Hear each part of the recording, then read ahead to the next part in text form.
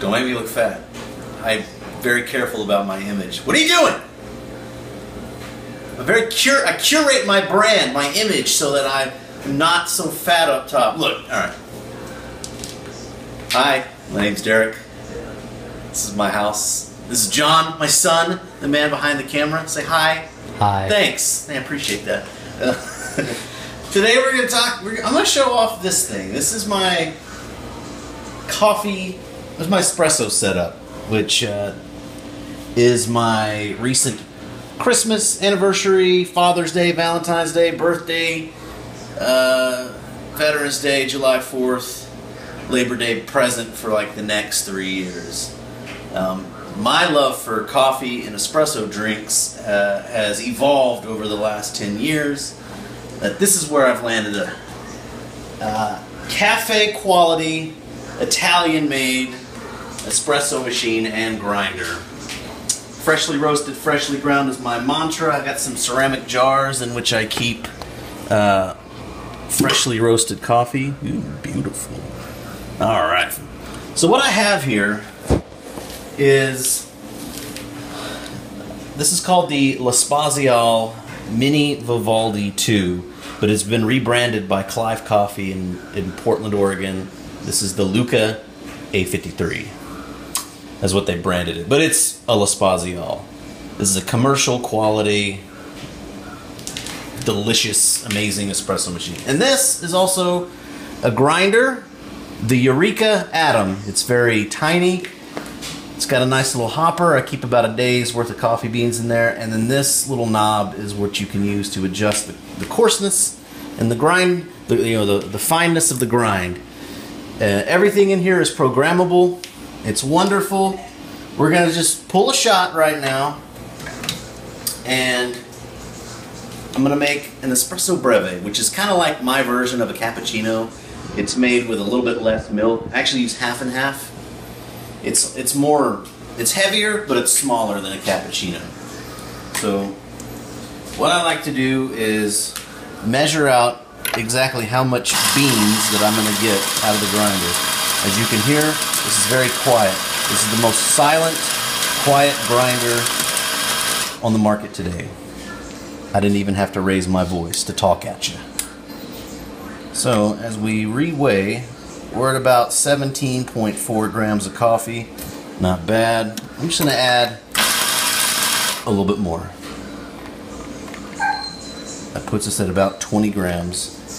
So I'm going to carefully kind of distribute the grounds throughout the portafilter basket here, and then we're going to tamp it. Now, my technique may be lacking, and I don't have quite the, I don't have a tamping mat or anything like that, but basically you want to apply 30 pounds of pressure evenly, smooth out that top, and you can see there, it's in there. Now I've already, can, it's already programmed to be at 95 degrees Celsius. And here we go. Nine bars of pressure, 95 degrees Celsius, and I'm gonna turn it off myself. Now, I purposefully have ground this coffee quite fine. So the shot that comes out is very thick, very flavorful, and yes, it's probably to take longer than the the recommended 35 seconds. That's just my personal taste. I'm not a, you know, I like the medium roasted coffee. I like a, a one-to-one brew ratio. I like it thick. I like it flavorful. Um, it's just kind of my preference. But we're almost done with the shot itself. And here we are. Have a look. That's the shot of espresso itself in this cup. You can see the, the rich, beautiful crema. It's delicious. What I have here is about a third of a cup of half and half. And we're going to steam that. First you got to purge because it's got water built up in there. Yeah. Woo! All that steam. This thing makes incredible steam. Here we go. Can you see it? There we Yes. go. Now I have a milk thermometer. That's all fine and good to use one of those, but really, got a little frothy there. I'm gonna chalk that up to I wasn't standing over. it. um, really, when you when you steam milk or you steam half and half, you just want it to be uh, you want it to get about as hot. You just want it to be hot to the touch, to where you can barely hold on to it. So, this has been steamed. You can see it's a little bit more voluminous. It's more airy. It's it, it appears to be thicker. It's got the consistency of say house paint. Now, I guess I'll try to do some some art with it, but I'm really not any good with this. See, it's already I already made it a little too foamy, but that's okay.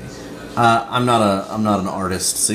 See, I'm not an artist, but let me assure you that that's delicious, and we're gonna we're gonna taste it right now. Oh yeah, I'm gonna enjoy that. I'm gonna sit down. I'm gonna enjoy this espresso breve, and then I'm gonna go to work because I gotta work all weekend, and this is what I need to get me going and charged up for my shift. So that's it. The L'espazial Lucca A53, the Eureka Atom, creating a wonderful coffee experience in my home. Stop by anytime. I'll be happy to make you a cup. That, that's about it. Thank you so much for watching. Smell my beard.